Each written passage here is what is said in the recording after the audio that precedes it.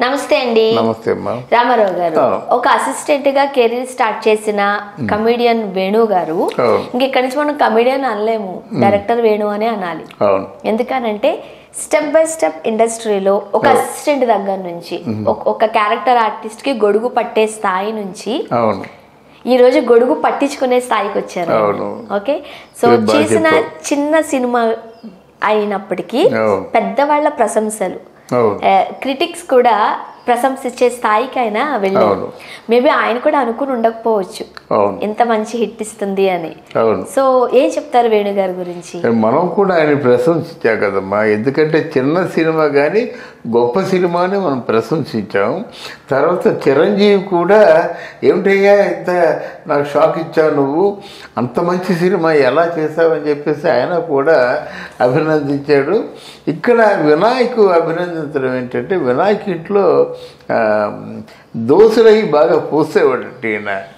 వినాయక దోశలు బాగా పూసా అంటే సినిమాలో ఆర్టిస్ట్గా ట్రై చేసే రోజుల్లో దో దోశలు పోయడం వాళ్ళు మంచి చేసుకోవడం అది జరిగిందన్నమాట. దోశలు చాలా అద్భుతంగా చేస్తారట ఎవరు వేణు గారు తర్వాత ఏమో చిత్రం శ్రీను ఉన్నాడు కదా ఆ శ్రీనుకి గొడుగు పట్టేవాడు. నువ్వు చెప్పినట్టుగా చిత్రం శ్రీనికి పెద్ద సూపర్ స్టార్ కాదు మామూలు ఆర్టిస్ట్ గొడుగు పట్టాడనమాట గొడుగు పట్టిన తర్వాత ఎందుకు వచ్చిందో మరి ఈటీవీలో జాపిక మన మళ్ళీ మన ప్రొడక్షన్స్లో జబర్దస్త్ స్టార్ట్ అయింది. జబర్దస్త్లో మొట్టమొదటిసారిగా వాళ్ళు పాదం మోపారన్నమాట. ఎవరు? వేణు గారు ధనరాజు ఇట్లాంటి వారు పాద రఘు రోలర్ రఘు ఇట్లాంటి వారు పాదం మోపారన్నమాట. ఆ పాదం మోపబట్టి ఇంకా మరి సుడిగారు సుధీర్ని గెటప్ శ్రీని ఆటో రాంప్రసాద్ని పిలిచారు. కానీ కొంతకాలం ఒక మూడు సంవత్సరాల పాటు వేణు వండర్స్ సూపర్ అన్నమాట. వండర్స్ క్రియేట్ చేసింది. వండర్స్ అంటే పేరే వేణు వండర్స్.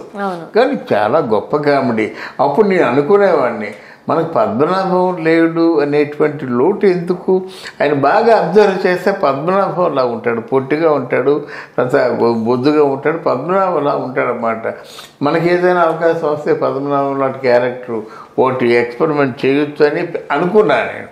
కానీ నిజంగా డెఫినెట్గా వేలువలో ఉన్నది ఏంటంటే టాలెంటే కాకుండా క్యారెక్టర్ని ఎలాగ చేయాలి ఎంత పండించాలి. అంతవరకు పండించేటువంటి సహజ సిద్ధమైనటువంటి కామెడీ ఆయనలో ఉంది. అండ్ ఆయనకి స్క్రిప్ట్ మీద చాలా అవగాహన ఉంటుంది. అవును ఎందుకనంటే నేను ఆయనతో పనిచేశాను. అందుకోసమే నేను పర్టికులర్గా చెప్పగలను.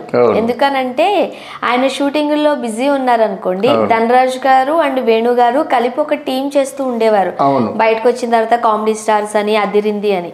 సో ఆ టీంలో నేను వర్క్ చేశాను కాబట్టి నా ఎక్స్పీరియన్స్ చెప్తా మీకు. ధనరాజ్ గారు ఒక రైటర్ని పెట్టి అది అంటే అది ఆ చిన్న దానినే ఆ కామెడీనే వాళ్ళు కథ అనేవాళ్ళు. వెరీ గుడ్ కథ అనే వాళ్ళ స్క్రిప్ట్ రాసుకునేవారు. ఆ పది పదిహేను నిమిషాల స్టోరీ.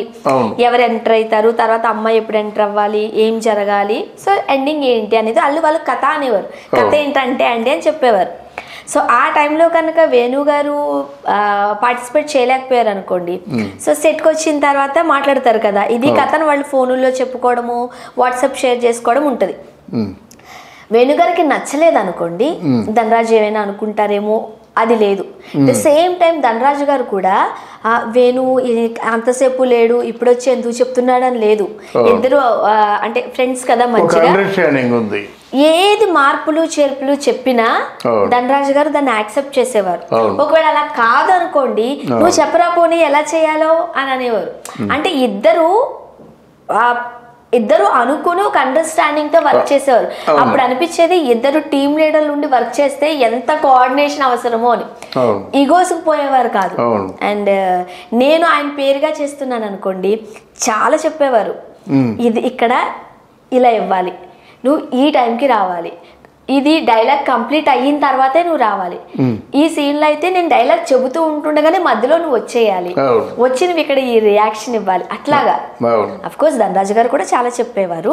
బట్ మనం వేణు గారి గురించి మాట్లాడుతున్నాం కాబట్టి నువ్వు చెప్పినట్టుగా స్క్రిప్ట్ మీద పట్టుందమ్మా. చాలా పెద్ద పట్టు. అది అంటే ఆయన చెప్పాడు కొంత కొన్ని సినిమాలు గా కూడా పనిచేశానని చెప్పాడు అనమాట కనుక ఆ సినిమా మీద పట్టు ఉందని నాకు తెలుసు కానీ సినిమాకి ఇటువంటి ఇతివృత్తం ఎన్నుకొని దానికి అంత న్యాయం చేస్తాడనేటువంటి ఆ నమ్మకం నాకు లేదు. ఆ సినిమా గురించి విన్న తర్వాత ఆ సినిమా చూసిన తర్వాత వేణు ఈజ్ గ్రేట్ అనిపించుకున్నమాట. అంత సినిమాని చిన్న సినిమాని అంత గొప్పగా చేయడం చాలా అండ్ మనం ఇక్కడ ఇంకొక విషయం ఏంటి అని అంటే వేణు గారు స్క్రిప్ట్ మీద పట్టే కాదు. అంటే చాలా మందికి డైరెక్షన్ చేయడం వస్తది. అవగాహన ఉంటది. కానీ ఆ వెనకాల ఇండస్ట్రీలో ఎలా వెళ్ళాలి అని ఒక దారి తెలియాలి. మీరు అన్నట్లు రాజమౌళి గారు ఆస్కర్ ఎలా తీసుకురావాలో దారి చూపించారు అన్నట్లుగా ఆ. దారి ఏంటో వేణు గారు బాగా తెలుసుకున్నారు.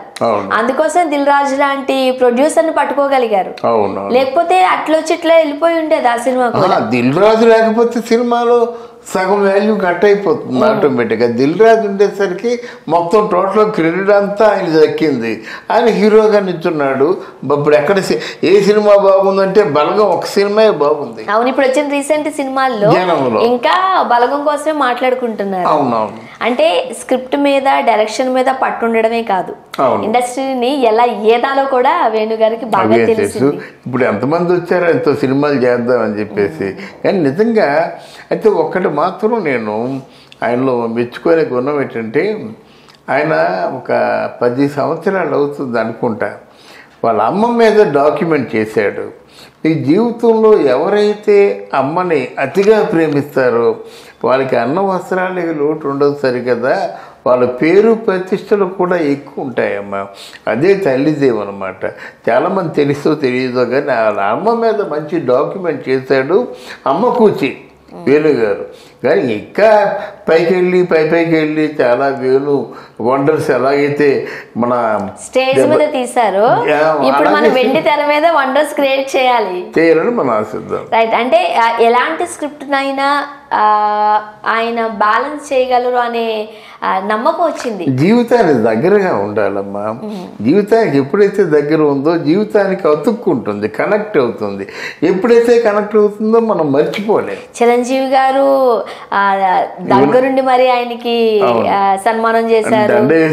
షాడూ కప్పి సన్మానం చేశారు. అండ్ ఇప్పుడు వినాయక్ గారు కూడా ఆశ్చర్యపోయాను అంటూ. చెప్పారు. అసలు పెద్ద. పెద్ద డైరెక్టర్లు పెద్ద పెద్ద ఆర్టిస్టులు ఇంత మంచి మంచి ప్రశంసలు ఇస్తుంటుంటే అదొకటి చాలా అనిపిస్తుంది అవును అంతే కదమ్మా మనకెందుకు ఆ థాట్ రాలేదు?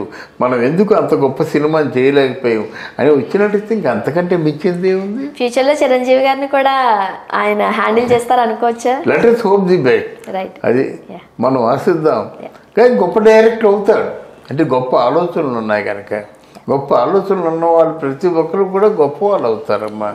ఆలోచన ముఖ్యం. ఒక్కొక్కసారి అనిపిస్తూ ఉంటది ఇంత మంచి మంచి ఆర్టిస్టులతో వర్క్ చేయడం కూడా మనకు కూడా అదృష్టమే ఎక్కడో ఉంది అని. డెఫినెట్గా అమ్మా డెఫినెట్ డెఫినెట్గా. అది డెఫినెట్గా.